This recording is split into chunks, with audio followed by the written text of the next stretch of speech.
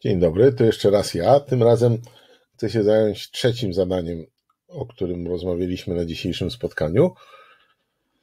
No i mm, dlatego, że ono jest o proporcjach, a proporcje to są, to są to jest bardzo ważne pojęcie. I dlatego być może będę omawiał je nieco dłużej i, i, i chciałbym, żeby ten pierwszy film nie był za długi. No więc zadanie jest takie. Mamy przekładnię zębatą, Duże koło ma 80 zębów, średnie 32 zęby i małe 16 zębów. No, widać jak to wygląda. To jest koło zębate, tylko te duże koło tak śmiesznie jest zbudowane, że ma te zęby w środku. I obracając się, uruchamia to średnie koło, które ma zęby na zewnątrz. Zęby są jednakowej wielkości. Jak jeden, o jeden ząb przesunie się duże koło, czy obróci się duże koło, to także o jeden ząb obróci się ma, e, średnie koło.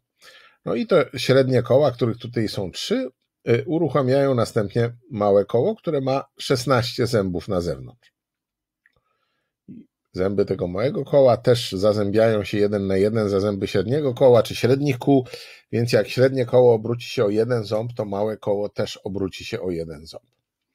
No i pytanie jest takie, że duże koło obracamy o 90 stopni i o jakie kąty obrócą się średnie i małe koła, to znaczy te średnie koła i małe koło, jeśli duże obrócimy o 90 stopni. No więc przyjrzyjmy się, jak to wygląda. Przyjrzyjmy się, jak to wygląda. Ja się może zmniejszę, żeby nie przeszkadzać. O, tak jest. Możemy to troszeczkę przesunąć chyba. A, nie chcę się dać przesunąć. To ja może troszeczkę opuszczę ten. Da się? Też ciężko. O, teraz jest bardzo dobrze. No, jeśli o ile zębów obróciło się duże koło, no bo o tyle samo zębów obróci się średnie koło i o tyle samo zębów obróci się małe koło. No, duże koło obróciło się o 90 stopni, czyli o jedną czwartą kąta pełnego i taką samą częścią tego obrotu, takim samym ułamkiem pełnego obrotu jest oczywiście ułamek wyrażony w, za pomocą liczby zębów, tak? Jeżeli liczba zębów, o które obróciło się duże koło jest x, tak sobie je oznaczymy, tak sobie tą liczbę oznaczymy, to stosunek tej liczby zębów, o które obróciło się duże koło, do całej liczby zębów na całym obwodzie, obrócenie o 80 zębów odpowiada obróceniu o 360 stopni, jest takie samo jak stosunek 90 stopni do 360 stopni. No, czyli x można wyliczyć stąd, równa się 1 czwarta, czyli 90 przez 360, razy 80 zębów, czyli 20 zębów. No jeszcze pytanie, jak można ten x wyliczyć? No w szkole czasem uczą, że to trzeba na krzyż pomnożyć x przez 360 i to się równa 90 przez 80, ale to jest głupia metoda, dlatego że jest bezmyślna. Nie należy uczyć się bezmyślnych metod. Jeżeli mamy ułamek, dwa ułamki, które są sobie równe, dwie liczby, które są sobie równe, no to jak te liczby zwiększymy 80 razy, 80, bo tu 80 jest w mianowniku, jak te dwie liczby zwiększymy 80 razy, to też będą sobie równe, tak? Jeśli 1 równa się 1, to 80 równa się 80.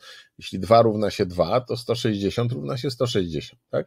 No, a jeżeli zwiększymy 81, 80 razy ten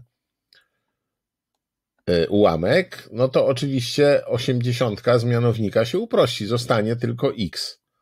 Tak? No i stąd x równa się, tu już obliczyłem 90 przez 360, to jest 1 czwarta, razy 80, z tym, że tu chodzi o zęby, tak? Więc 80 zębów, czyli 20 zębów. No dobrze, no to wiemy o ile zębów obróciło się duże koło, jeżeli obróciło się o 90 stopni. I teraz mamy rozwiązać zadanie odwrotne. O jaki kąt obróciły się średnie koła, jeżeli obróciły się o 20 zębów? No bo o tyle samo zębów obróciło się duże koło, co średnie koło, co małe koło. Znowu napiszemy proporcję, tylko w drugą stronę. Tym razem tą część obrotu możemy wyrazić w zębach. Mamy taką samą częścią pełnego obrotu jest 20 zębów w stosunku do 32 zębów, które odpowiadają czy jednemu obrotowi, jak kąt, o jaki obróci się średnie koło, jest częścią pełnego obrotu wyrażonego w kątach 360 stopni. No i znowu, tak samo jak poprzednio, jeśli te dwa ułamki są takie same, no to jak się pomnoży je przez 360, to też będą takie same, a jak pomnożymy przez 360, to te stopnie w mianowniku tu się uproszczą. Zostanie sam y, czyli y równa się 20 przez 32 to jest 5 ósmych, no przez 4 można podzielić, tak? 20 przez 4 jest 5, 32 przez 4 to jest 8, razy 360 stopni, no i to można łatwo policzyć. 360 na 8 to jest 45, no bo rzeczywiście jakbyśmy podzielili na 4, to byłoby 90 i jeszcze dwójka by nam została do podzielenia, 90 na 2 to jest 45. 5 razy 45 to jest 225 stopni. Czyli średnie koło obróci się o 225 stopni. O 20 zębów, czyli o 225 stopni. No a o ile zębów obróci się, y, o ile obróci się małe koło, no, można powtórzyć dokładnie to samo rozumowanie, ale można też zobaczyć, że małe koło ma dwa razy mniej zębów niż duże koło. To znaczy, że skoro ma dwa razy mniej zębów, to jak obraca się o taką samą liczbę zębów, to obraca się o dwa razy większy kąt. No więc skoro tutaj obróciło się o 200, średnie koło obróciło się o 225 stopni, to duże, to małe koło musiało się obrócić o 450 stopni. No i takie jest rozwiązanie tego zadania. Jeszcze raz podkreślam, ważne jest rozumieć, jak ułożyliśmy te proporcje i ważne jest rozumieć, jakie rozwiązaliśmy bez żadnego mnożenia na krzyż. Dziękuję bardzo.